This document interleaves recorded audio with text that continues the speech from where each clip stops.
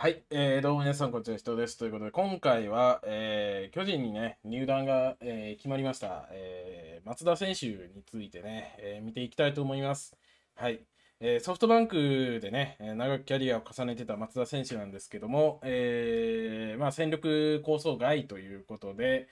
まあ、あのソフトバンクでね、なんか引退するのかなと思ってたんですけど、えー、そのまま現役を続行するということで、まあ、巨人に移籍が決まったというところですね。まあ、通算1831安打ということで、2000本安打まであと169安打とい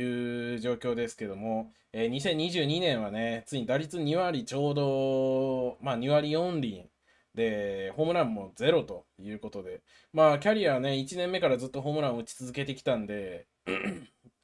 まあ、ホームランを打たないシーズンっていうのは初めてなわけなんですけど、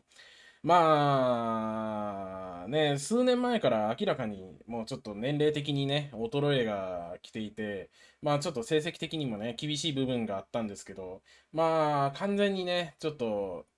まあ三塁手として考えた時に、やっぱり打力がある程度求められるポジションである三塁手で、まあちょっとこの打力ではちょっとというところですね。で、まあ今年は一塁にもね、挑戦したり、一塁守ったりすることも増えてまして、まあそういうところでね、まあ、ちょっと戦力として、あのまあ、数えにくくなったというところで巨人に、えー、行くみたいですけど、まあなんかね、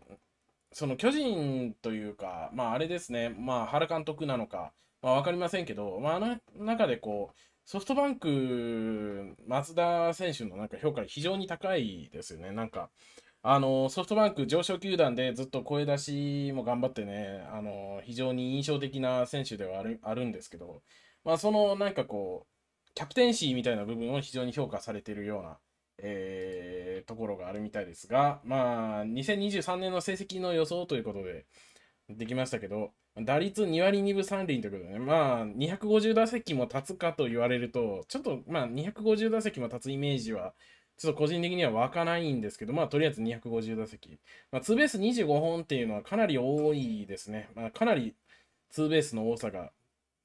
気になりますけど、まあ、これはなんか、あれですね、どうしても長打力の部分とかも兼ね合いもあるんで、まあ、もうちょっと数字は落ちるかなと思います。はい。で、まあ、なんて言うんですかね。まあ、ちょっとこの、なんか、いびつな感じになってしまっているのは、どうしてもですね、あの、2022年の成績がね、ちょっとあまりにも露骨に悪かった部分もありつつですね、まあ、その辺でこう、バランス取るために、ちょっと成績のバランスがなんか変な感じにはなってしまっているっていうのは、ちょっと否めないんですけど、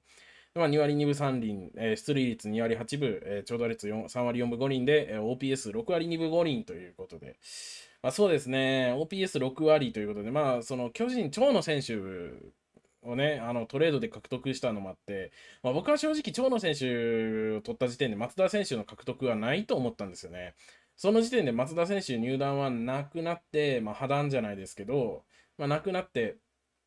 まあ、どっか別の球団に行くのかなと思ってたんですが、まさか巨人がね、えー、もう一人ベテランの右の選手を獲得するということで、まあ、これはちょっと予想外でしたね。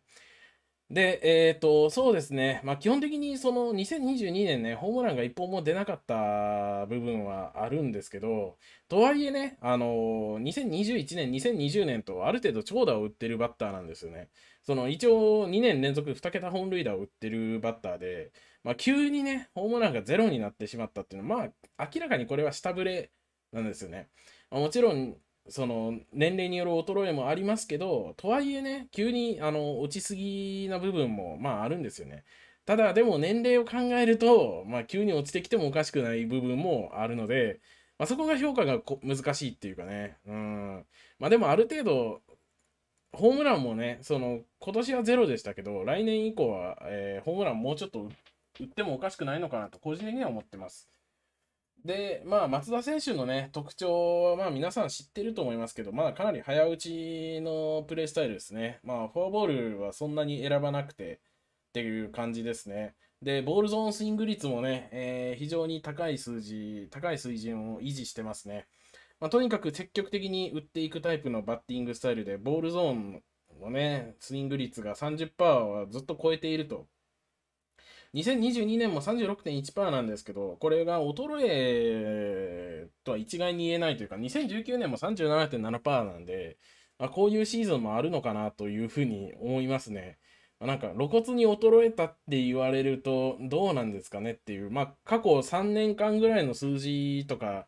で見ていくと、まあ確かに、まあ悪くなってきてはいるんだけどもっていうね、まあなんかその、ここまで数字が大幅に悪化するほど悪くなってるかって言われると、まあそうでもないのかなっていうふうに思いますね。まあ一個気になるポイントがあるとすれば、コンタクト率が悪化してるっていうとこ。まあ、コンタクト率がね、あの、コンスタントに50%を超えてたのに、2022年は急にコンタクト率が下がってしまっていると。で、ゾーン内のコンタクト率も下がってるんですよね。まあでも、このコンタクト率も79.9%っていう数字なんですけど、まあ2020年、21年と比べたら悪いんですけど、まあ18年、19年とかと比べても、まあ、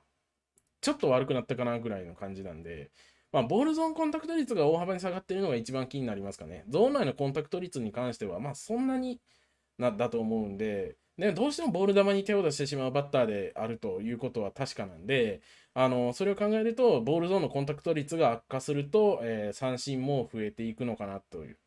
いう感じですかね。で、えっ、ー、と、まあ、スラッガーらしくね、えー、しっかり長打、え、フライをね、多く打つことができるバッターですね。で、こうやって見ていきますと、フライに占めるホームランの割合なんですけど、まあ、それまでね、えー、18年、19年と10%超えてたんですが、20、21で、まあ、1桁台に、1桁パーセント台には落ち込んでいると。ただ22年がね、急にゼロになってるんで、まあこれも違和感があるというか、まあ急に落ちすぎなんですよね。なのでまあ、それはね、まあ不運な部分もあったのかなっていうふうには思います。まあただね、気になるポイントとしてはやっぱりハードヒットが減少しているってことですね。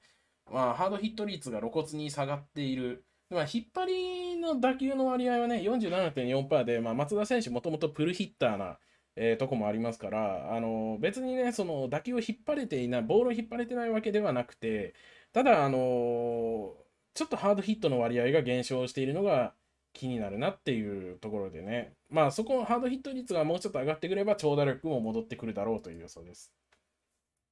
で、三塁手としての守備見ていきますけど、まあ、ここ2年、特に今年は67イニング守って大幅にマイナス